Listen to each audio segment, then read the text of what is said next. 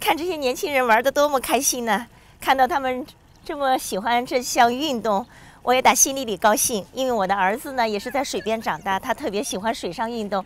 而在海德马士岛，从不同的年龄阶段都可以找到自己喜欢的运动。